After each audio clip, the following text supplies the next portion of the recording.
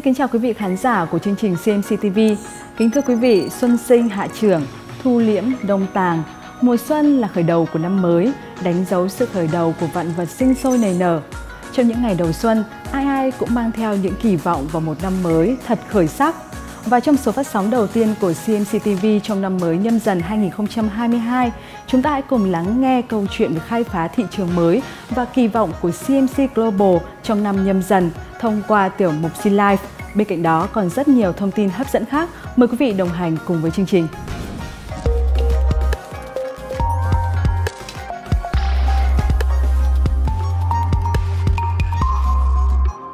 Quý vị thân mến, chắc hẳn lúc này mỗi người CMC đang đón một năm mới với nhiều cung bậc cảm xúc khác nhau.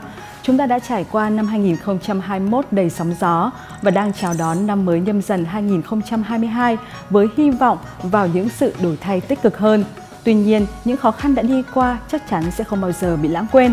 Hãy cùng chúng tôi nhìn lại 10 sự kiện nổi bật tạo nên CMC năm 2021 để chào đón năm mới nhâm dần 2022 thật bùng nổ.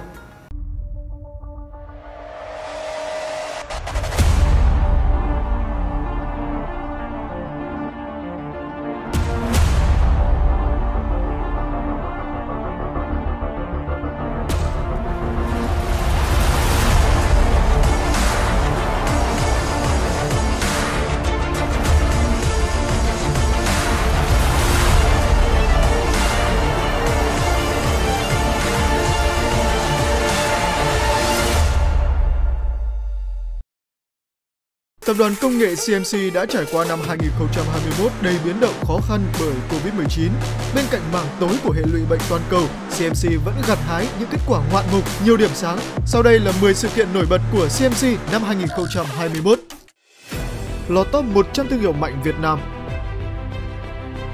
CMC là một trong số ít các doanh nghiệp trong lĩnh vực công nghệ ghi nhận sự tăng trưởng ấn tượng trong năm 2021 và xuất sắc góp mặt trong danh sách top 100 thương hiệu mạnh Việt Nam 2020-2021. Giải thưởng do Thời báo Kinh tế Việt Nam, nay là tạp chí Kinh tế Việt Nam VN Economy, Việt Nam Economic trao tặng. Đạt giải thưởng, CMC khẳng định năng lực sáng tạo không ngừng, chủ động thích ứng, chuyển đổi số mạnh mẽ, phục hồi nhanh hoạt động sản xuất kinh doanh. Lọt top 500 doanh nghiệp lớn nhất Việt Nam năm 2021 Tập đoàn công nghệ CMC lọt top 500 trong bảng xếp hạng doanh nghiệp lớn nhất Việt Nam năm 2021 do Vietnam Report, công ty cổ phần báo cáo định giá Việt Nam và báo Vietnamnet, Bộ Thông tin và Truyền thông công bố. Bảng xếp hạng dựa trên kết quả nghiên cứu và đánh giá độc lập theo chuẩn mực quốc tế của Vietnam Report nhằm ghi nhận và tôn vinh thành tích xứng đáng của các doanh nghiệp, trong đó có CMC, về quy mô doanh thu lớn, duy trì hoạt động sản xuất kinh doanh hiệu quả và ổn định trong bối cảnh có nhiều khó khăn do đại dịch. Cũng trong năm 2021, CMC lần thứ ba liên tiếp được Vietnam Report đánh giá top 10 doanh nghiệp công nghệ thông tin viễn thông tiêu biểu của Việt Nam. Vietnam Report tổ chức xếp hạng có uy tín, đồng hành cùng cộng đồng doanh nghiệp Việt Nam phát triển thành công các thương hiệu lớn trong suốt 15 năm qua. Sản phẩm nền tảng số tiêu biểu đạt giải thưởng Make in Việt Nam Giải thưởng Make in Việt Nam của Bộ Thông tin và Truyền thông vinh danh hai cái tên lớn của tập đoàn công nghệ CMC, C Contract Giải pháp hợp đồng điện tử nằm trong top 10 giải pháp số xuất sắc nhất năm 2021. Giải pháp hợp đồng điện tử do Tổng công ty Công nghệ và Giải pháp CMC, CMC TS trực tiếp nghiên cứu và phát triển nhằm phục vụ nhu cầu số hóa, tự động hóa quy trình ký hợp đồng điện tử, chứng từ điện tử của mọi tổ chức doanh nghiệp. Giải pháp được hàng trăm doanh nghiệp lớn như Pepsi, Ahamove giao hàng nhanh tin tưởng sử dụng. CMC Cloud nằm trong top 10 nền tảng số xuất sắc nhất năm 2021 Bên cạnh đó, CMC Cloud cũng là nền tảng đám mây nòng cốt trong chiến lược thúc đẩy chuyển đổi số quốc gia của Bộ Thông tin và Truyền thông. Đạt nhiều giải thưởng quốc tế uy tín, trong năm 2021, CMC hoạt động tích cực trên trường quốc tế với định hướng Go Global, vươn ra thế giới. Tập đoàn đã giành được nhiều giải thưởng quốc tế uy tín. Ở mảng điện toán đám mây, CMC Telecom đạt giải thưởng nhà cung cấp dịch vụ Data Center năm 2021 khu vực châu Á Thái Bình Dương, khẳng định năng lực công nghệ và quy mô tầm vóc của CMC. IFM công nhận CMC Telecom là nhà cung cấp dịch vụ cloud sáng tạo nhất năm 2020. CMC Cloud cũng nhận giải nền tảng đa đám mây tốt nhất Việt Nam năm 2021 do tạp chí IFM trao tặng. Tháng 7 năm 2021, CMC TS được vinh danh là một trong 10 nhà cung cấp giải pháp Microsoft hàng đầu tại khu vực châu Á Thái Bình Dương. CMC TS đã hỗ trợ hàng ngàn tổ chức doanh nghiệp đa ngành ở Việt Nam chuyển đổi số, ứng phó với đại dịch và nắm bắt cơ hội phát triển kinh doanh. Ở mảng an ninh an toàn thông tin, CMC Cyber Security đã vinh dự được Ford Sullivan vinh danh giải thưởng lãnh đạo chiến lược cạnh tranh ngành dịch vụ quản lý an ninh an toàn thông tin Việt Nam năm 2021 vào tháng 8 năm 2021.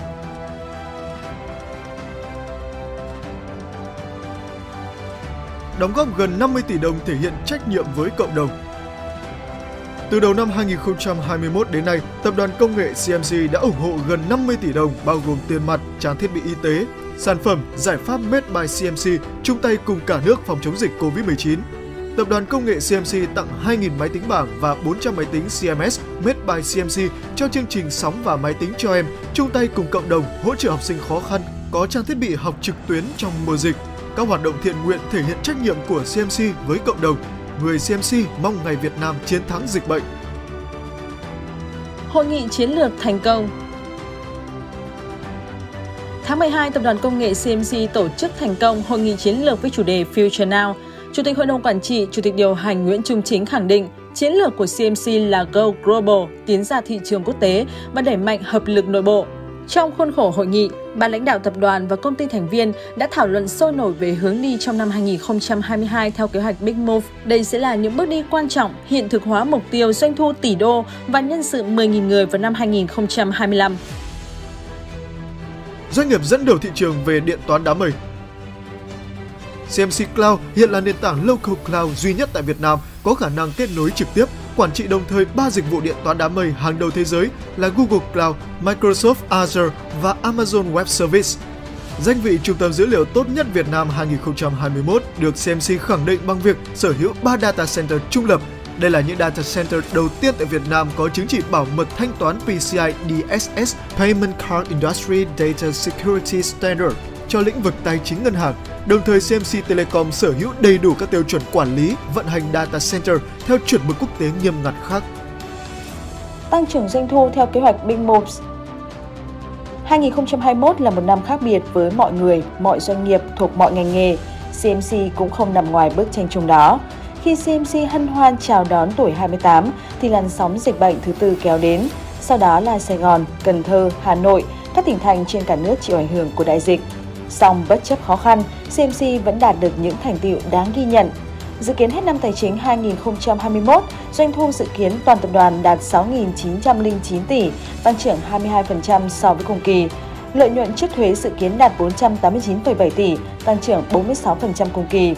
Mục tiêu doanh thu năm tài chính 2022 của CMC sẽ là 381 triệu đô la Mỹ, tương đương 8.763 tỷ đồng, tăng 26% so với năm 2021. Lợi nhuận trước lãi vay và thuế là 23 triệu đô la Mỹ tương đương 529 tỷ đồng, tăng hơn 10% so với năm 2021. Tuy tình hình kinh tế đất nước có những khó khăn, dịch bệnh vẫn đang diễn biến phức tạp, nhưng thị trường công nghệ thông tin viễn thông vẫn được đánh giá ngày một phát triển.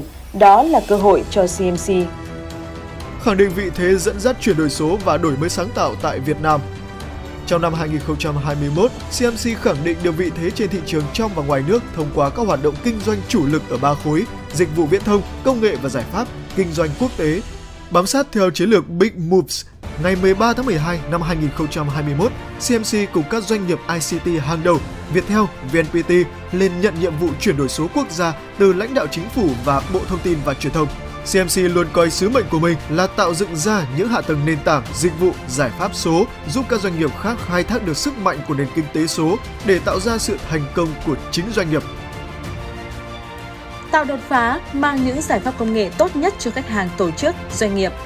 Tháng 10 năm 2021, tại Hội nghị và triển lãm Thế giới số ITU Digital World 2021, Tập đoàn Công nghệ CMC giới thiệu những sản phẩm dịch vụ thế mạnh ở các mảng điện toán đám mây, bảo mật, chuyển đổi số và công nghệ nghiên cứu ứng dụng. Tham dự triển lãm ITU Digital World 2021, Tập đoàn Công nghệ CMC đã giới thiệu những sản phẩm dịch vụ giải pháp mang dấu ấn riêng của tập đoàn, mang niềm tự hào Made by CMC đến với khách hàng trong và ngoài nước. Có thể kể đến nền tảng SOC được CMC Cyber Security nghiên cứu và phát triển, nền tảng vận hành các nguồn lực theo dõi, phát hiện, phân tích và xử lý mọi hành vi làm mất an ninh an toàn thông tin hoặc vi phạm chính sách trong hệ thống công nghệ thông tin của các hàng doanh nghiệp như hệ thống mạng, các thiết bị bảo mật, máy tính cá nhân, máy chủ, cơ sở dữ liệu, ứng dụng, website, môi trường điện toán đám mây. Nền tảng SOC hỗ trợ doanh nghiệp phát triển kịp thời và cách ly, xử lý các hành vi khả nghi có khả năng đe dọa đến sự an toàn bảo mật của hệ thống. Giải pháp bảo mật CMDD được Microsoft cho phép sử dụng các độc quyền trên hệ điều hành Windows với tư cách sản phẩm bảo vệ chính thức thay thế phần mềm mặc định. CMDD cũng vượt qua 6 lần kiểm định liên tiếp của VB100 với kết quả tuyệt đối. Một lần nữa, sản phẩm Made by CMC khẳng định vị trí và chất lượng bằng tầm vóc quốc tế với sự công nhận của các tổ chức hàng đầu thế giới. Một giải pháp Made by CMC đáng chú ý nữa là hệ thống nhận diện thông minh siVan do Viện Nghiên cứu ứng dụng CMC, Viện SIT nghiên cứu và phát triển. Hệ thống hỗ trợ nhận diện gương mặt có đeo khẩu trang, kiểm tra thân nhiệt, cảnh báo an toàn, giúp chuyển đổi số công tác quản lý nhân sự, giám sát an ninh, quản lý vào và ra tại các tòa nhà. SiVans đã được lắp đặt tại Ủy ban Nhân dân thành phố Hà Nội, Tòa nhà CMC Hà Nội và Bộ Tài nguyên và Môi trường. Ra mắt thị trường từ tháng 1 năm 2021, giải pháp hợp đồng điện tử C-Contract dòng CMCTS được nhiều khách hàng tin tưởng sử dụng như giao hàng nhanh, Pepsi, Ahamove, Giải pháp phục vụ nhu cầu số hóa, tự động hóa quy trình ký kết hợp đồng điện tử, chứng từ điện tử của mọi tổ chức doanh nghiệp trên đa nền tảng, máy tính, điện thoại thông minh, máy tính bảng. Hợp đồng điện tử C-Contract đáp ứng nhu cầu ký số đa dạng, từ giao dịch giữa các cá nhân với nhau đến chính quyền số, ngân hàng số, giao dịch chứng khoán, bảo hiểm. Nền tảng điện toán đám mây CMC Cloud cũng là sản phẩm made by CMC nổi bật. CMC Cloud được CMC Telecom nghiên cứu và phát triển dựa trên nền tảng điện toán đám mây, sử dụng công nghệ mở ứng dụng Infrastructure as Code. Đây cũng là công nghệ tiên tiến được Microsoft, AWS, IBM và Google sử dụng. Toàn bộ hệ thống vật lý được đầu tư thiết bị hiện đại nhất từ Dell, IBM Power, đặt tại ba data center đạt chuẩn Tier 3 của CMC Telecom với chứng chỉ bảo mật PCI DSS duy nhất tại Việt Nam – So sánh với các hãng công nghệ trên thế giới, một local cloud như CMC Cloud nắm trong tay nhiều lợi thế riêng và được những khách hàng lớn tin tưởng lựa chọn. Và đặc biệt, hệ sinh thái hạ tầng mở C Open đang trong những bước hoàn thiện cuối cùng để có thể cung cấp giải pháp, dịch vụ chuyển đổi số toàn diện cho các tổ chức, doanh nghiệp trong và ngoài nước. 10 sự kiện nổi bật 2021 của tập đoàn công nghệ CMC là một bức tranh toàn cảnh của CMC trong năm 2021, hướng đến năm nhâm dần 2022 đầy hy vọng.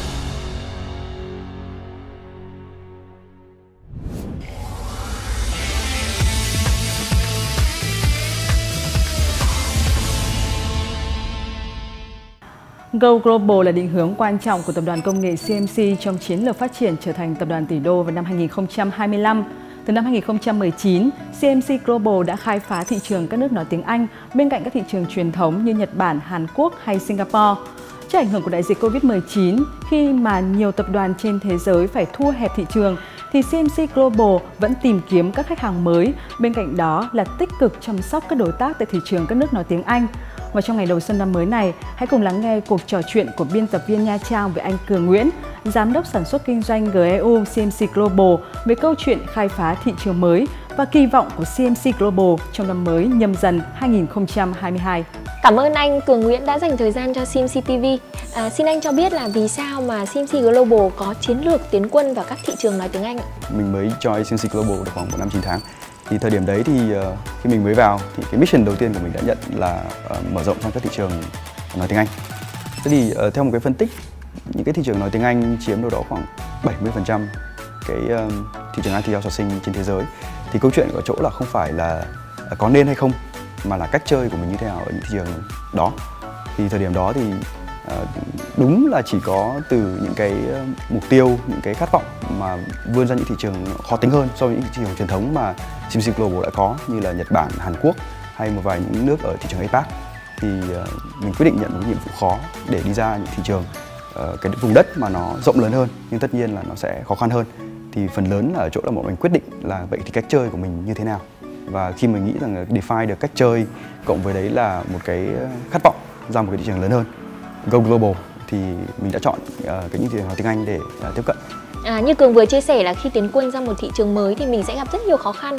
Vậy cái chiến thuật của CMC Global là gì để đối mặt với những khó khăn đó? Cái đầu tiên mình tiếp cận ấy là ở chỗ mà ngay cả đặc biệt lúc đấy mình cũng là người mới nữa vì mua là người mới hay là lại thị trường mới cho một cái thị trường rất khó tính thế thì uh, mình sẽ phải minimize những cái những cái rủi ro mà mình có thể sẽ gọi là gặp phải thế thì để minimize cái đó thì thứ nhất là mình lựa chọn những cái thị trường mà họ thực sự open cho cái chủ đề outsourcing.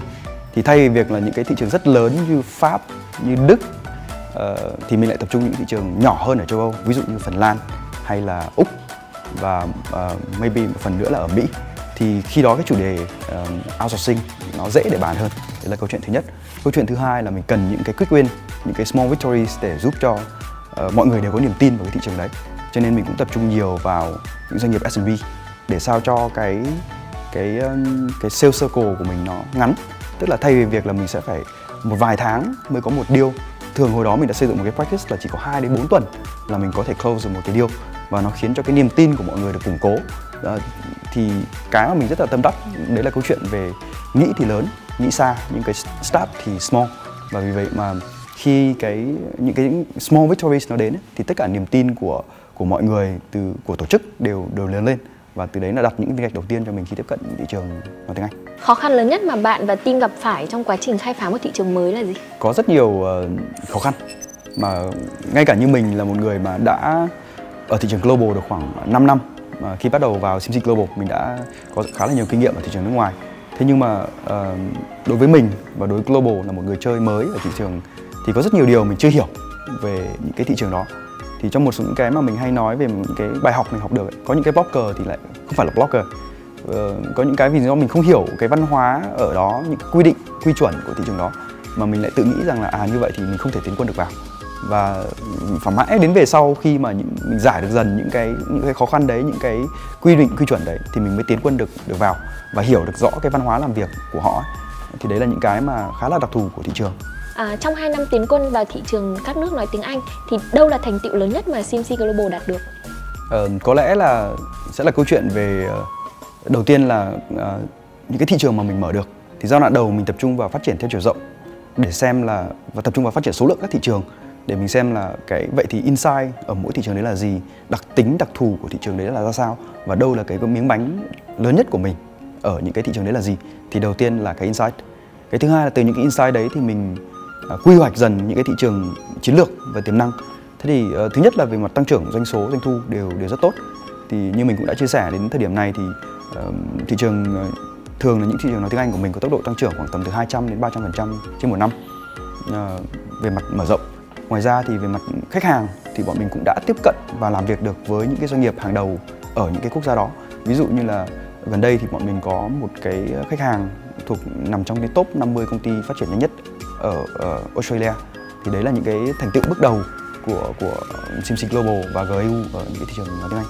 Bài học kinh nghiệm mà bạn thu được trong quá trình mà đi chinh phục các thị trường nước ngoài là gì? À, nó có khá là nhiều uh, bài học mà bọn mình rút ra trong quá trình làm việc. Thế thì câu chuyện thứ nhất là câu chuyện về uh, xây dựng đội ngũ, uh, phát triển kinh doanh. Thì vì là câu chuyện đánh global cho nên cái cái global mindset ở trong đội sales là cái rất quan trọng và không chỉ ở trong đội sales mà sau đó thì lại xuống cả đội sản xuất.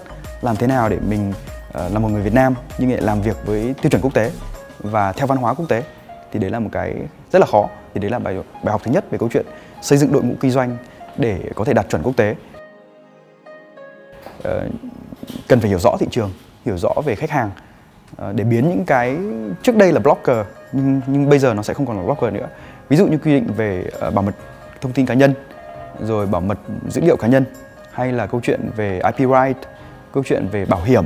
Trong năm 2022 thì dự định của CMC Global ở các thị trường nói tiếng Anh là gì ạ? Với uh, đầu tiên là GEU và và CMC Global thì uh, mình hay có những cái uh, đặt ra những cái cái mình hay gọi là games hoặc là challenge đối với mọi người thì ở văn hóa của GEU và CMC Global ấy, là một văn hóa khá là trẻ và startup cho nên mình thường đặt những mục tiêu rất thách thức cho cho đội ngũ để bởi vì uh, theo mình thì phải có những thách thức lớn.